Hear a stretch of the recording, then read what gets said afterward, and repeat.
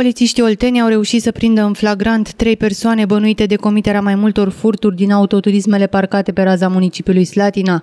Este vorba despre doi tineri de 20 de ani și un minor de 14 ani care au fost reținuți pentru 24 de ore.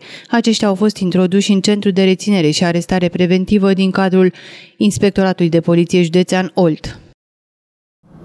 La data de 15 februarie anul curent, în jurul orelor 1, polițiștii în cadrul Inspectoratului de Poliție Județean Olt, Poliția Municipiului Slatina, au reușit prinderea în flagrant a trei persoane, doi tineri de 20 de ani și un minor de 14 ani, toți din municipiul Slatina, în timp ce forțau sistemul de închidere al autoturismelor parcate pe raza municipiului.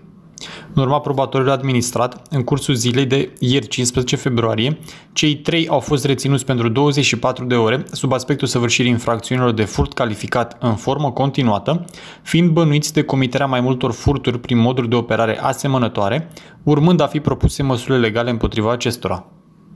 Totodată, polițiștii au depistat și foarte multe infracțiuni rutiere. Au surprins astfel un bărbat de 61 de ani din comuna Vitomirești, care a fost depistat pe raza localității în timp ce conducea un autoturism având o alcoolemie de 0,64 mg per litru alcool pur în sânge, având dreptul de a conduce autoturisme suspendat. În cauză s-a întocmit dosar penal sub aspectul săvârșirii infracțiunilor de conducerea unui vehicul sub influența alcoolului sau altor substanțe și conducerea unui vehicul fără a poseda permis de conducere conducere. De asemenea, la data de 15 februarie, un bărbat de 35 de ani din comuna Izvoarele a fost depistat pe raza localității în timp ce conducea un autoturism cu o alcoolemie de 0,52 mg per litru alcool pur în sânge.